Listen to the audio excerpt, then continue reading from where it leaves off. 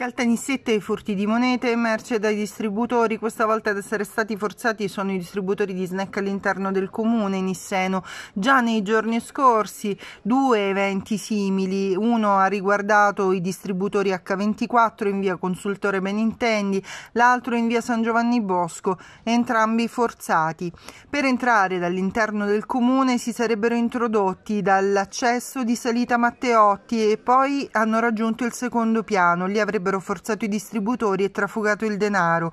Sul posto, dopo la segnalazione di un dipendente, sono arrivati gli uomini della Polizia di Stato e della Scientifica che hanno eseguito i rilievi. Sui fatti stanno lavorando gli inquirenti.